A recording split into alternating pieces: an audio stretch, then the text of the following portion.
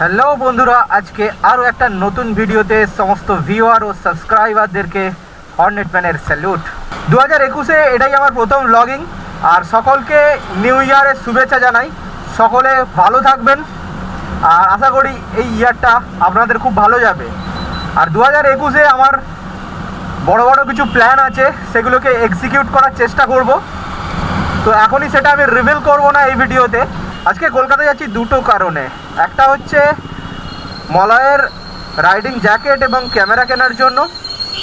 আর দ্বিতীয়ত হচ্ছে, যেহেতু যাচ্ছি কলকাতা, সেহেতু আমারও নিজেরও কিছু ছোটোখাটো কাজ আছে। ছোটোখাটো কাজটাও আমি মিটিয়ে নেব। তো আপাতত অফরোড প্রথমে যাব, এটাই ঠিক আছে। তো তারপরে যদি ওখানে জ্যাকেট পছন্দ না হয়, তখন গিয়ার আপে আসব। কলকাতা ঢোকার এই রাস্তাটা, এই যে দ্বিতীয় হুগলি সেতু, জায়গাটা খুবই সুন্দর।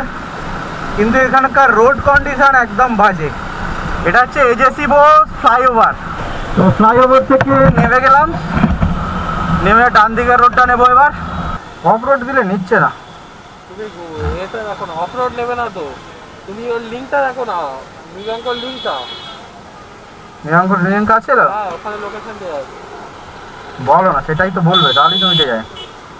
কোন ভিডিওতে খুলতে হবে?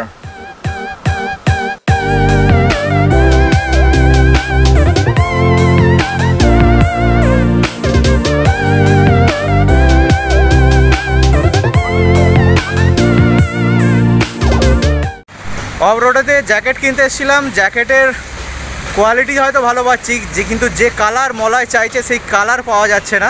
সুতরাং অফ রোড ছেড়ে এখন অন্য কোনো দোকানে আমাদের দেখতে হবে জ্যাকেটের জন্য। অফ রোডের মলায় জ্যাকেট পছন্দ হয়নি বলে আপাতত গিয়ার আপে এসেছি। আমার জ্যাকেটটাও এই গিয়ার আপ থেকেই কেনা। তো দেখা যাক গিয়ার আপে ওর পছন্দের জিনিস পাওয়া যায় কি না তো গিয়ার আপটা হচ্ছে ভবানীপুরে।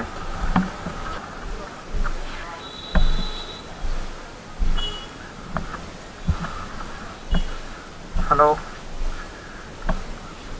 তো মলয়, রাইনক্সের এয়ার জিটি এই মডেলটা চুজ করেছে। পিছনে করো এটার দাম কত পড়ছে? ছ হাজার আটশো পঞ্চাশ। প্রচুর টাকা।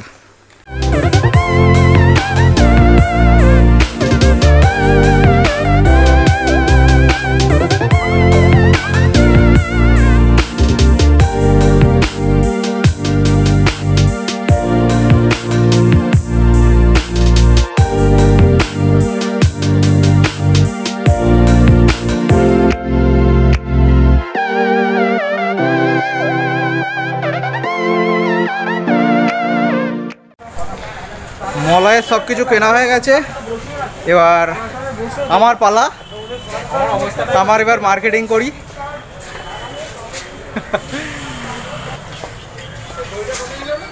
কেনাকাটা সব কমপ্লিট হয়ে গেছে। সাবির হোটেলে ঢুকেছি। আপাতত ট্রিট দিচ্ছে মলয়। মলয় ট্রিট দিচ্ছে। তো বিরিয়ানি খাচ্ছি। আর আজকের ব্লগটা এখানেই শেষ করছি। তো কেমন লাগল ব্লগটা অবশ্যই কমেন্ট করে জানাবেন, ভালো বা খারাপ, যাই হোক না কেন। আর ভিডিওটা শেষ পর্যন্ত লাইক করবেন, আর চ্যানেলটাকে সাবস্ক্রাইব করবেন। দেখা হবে আবার অন্য কোনো ভিডিও দশ দিনের জন্য বাই বাই